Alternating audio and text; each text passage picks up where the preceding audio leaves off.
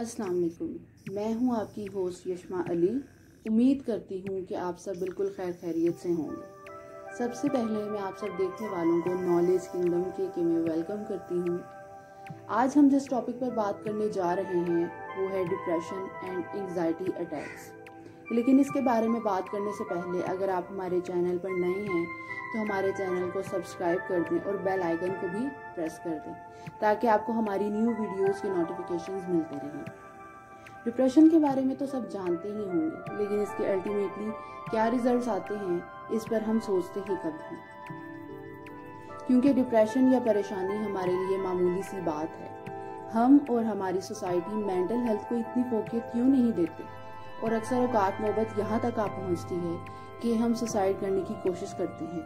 ना चाहते हुए भी हम इंसान को मौत के मुँह में ले जाते हैं। जब एंजाइटी एंड डिप्रेशन बहुत ज़्यादा स्वियर हो जाते हैं तो आहिस्ता आहिस्ता इंसान पैनिक अटैक्स का शिकार हो जाता है। बेसिकली पैनिक अटैक्स एक ऐसी सिचुएशन होती है जो कि मुसलसल किसी एक ख़ास मसले या परेशानी की वजह से होती है। इंसान बहुत ज़्यादा थकावट महसूस करता है उसे घबराहट होती है और फ़िज़िकल सिम्टम्स भी अपीयर होना शुरू हो जाते हैं। जैसे कि दिल की धड़कन बहुत तेज़ हो जाती है। आप अपना कंट्रोल खो देते हैं। नोजिया एंड वॉमिटिंग की कंडीशन हो सकती है। विक्टम को चक्कर आना शुरू हो जाते हैं।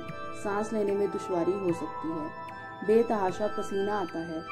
धुंधला नज़र आना शुरू हो जाता है।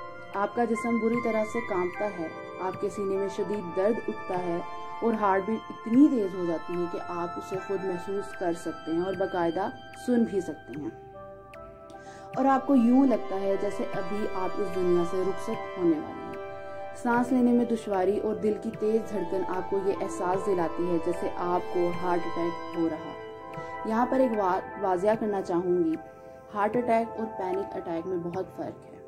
हार्ट अटैक में विक्टम के सीना में दर्द उठता है और वो कमर, यानी बैक की तरफ़ फैल जाता है। मुँह के जबड़े भी दर्द और खिंचाव महसूस करते हैं, लेकिन इसके बरक्स पैनिक अटैक के सिम्टम्स में ये इलामात नहीं पाई जाती। एक पैनिक अटैक का ड्यूरेशन 15 से 20 मिनट से लेकर कई घंटों तक होता है। पैनिक अटैक और एंजाइटी में फ़र्क है, लेकिन अगर एंजाइटी शिद्दत इख्तियार कर ले तो ये पैनिक अटैक्स में बदल जाती है।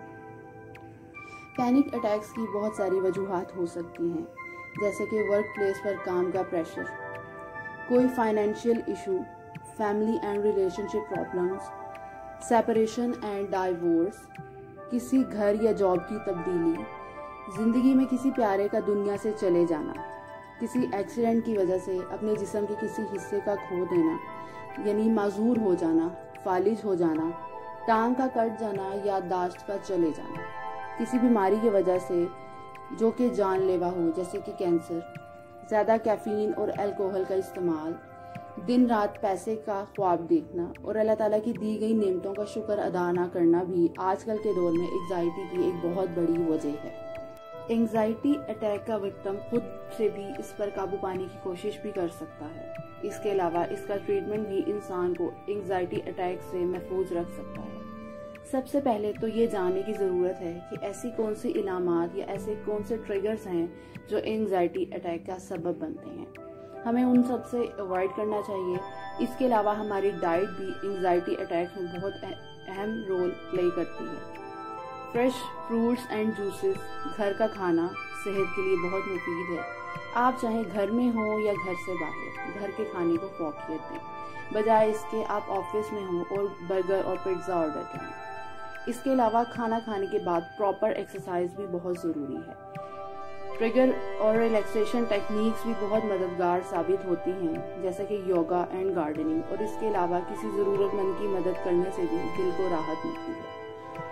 इसके अलावा आप किसी साइकोलॉजिस्ट या साइकेट्रिस्ट से भी रजू कर सकते हैं।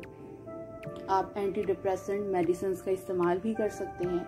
और सबसे बढ़कर, अगर हम अपने प्यारे नबी हज़रत मोहम्मद सल्लल्लाहु अलैहि वसल्लम की सुन्नत पर अमल करें और मुसलमान होने के नाते पाँच वक्त की नमाज़ अदा करें तो हम डिप्रेशन से यकीनी तौर पर बच सकते हैं।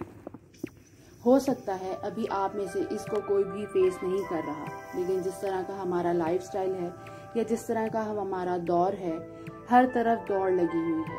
कोई पैसे के पीछे दौड़ रहा है तो कोई शोहरत के पीछे। कोई डॉक्टर बनने के लिए दिन रात मेहनत करता है तो कोई इंजीनियर बनना चाहता है। यानी हर तरफ़ डिप्रेशन ही डिप्रेशन है।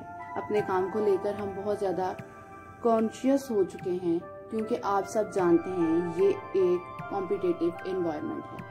तो जब कभी ज़िंदगी में आपको कभी ऐसा लगे कि ऐसा आपके साथ हो रहा है तो आप अपनी एंग्जाइटी को शुरू में ही फिक्स कर लें। यानी कि इसी साइकोलॉजिकल प्रॉब्लम को फेस करने के लिए आपका तंदुरुस्त होना बहुत ज़रूरी है। तो ये थी हमारी आज की वीडियो उम्मीद करती हूँ कि आप सब देखने वालों को हमारी आज की वीडियो बहुत पसंद आई होगी।